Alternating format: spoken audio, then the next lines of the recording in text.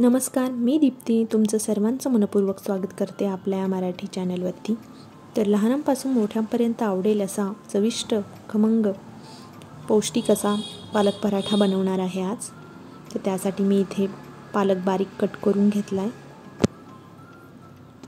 आणि तो गरम पाण्यात दोन मिनटं उकळवून घेणार आहे. आपल्याला पालक जास्त वेळ शिजवून द्यायचा नाही आहे बस दोन मिनटं उकळवून घ्यायचा आहे तो थंड करून त्याची बारीक पेस्ट करून घ्यायची. हा पालक पराठा तुम्ही लोणचं एखादी चटणी किंवा दह्यासोबत खाऊ शकता. इथे मी दोन वाट्या गव्हाचं पीठ घेतलं आहे त्यामध्ये दोन चमचे तीळ टाकून घेतले. अर्धा चमचा ओवा टाकून घेतला आहे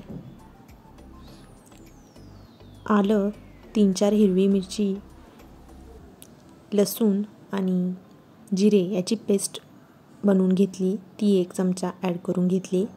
इथे चवीनुसार मीठ टाकून घ्यायचं आहे आणि आपली पालकची पिवरी टाकून पीठ मळून घ्यायचं आहे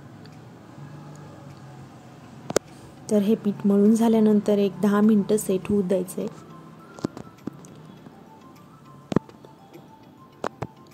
चपातीसारखं आपण याला मध्ये तूप लावून किंवा तेल लावून आपण लाटून घ्यायचं आहे आपल्याला पाहिजे त्या शेपनुसार आपण पराठा बनवू शकतो. त्रिकोणी चौकोणी गोल पाहिजे त्या शेपमध्ये बनवू शकतो. इथे मी पराठा लाटून छान भाजत ठेवला आहे याला तूप लावून दोन्ही बाजूनी छान भाजून घ्यायचं आहे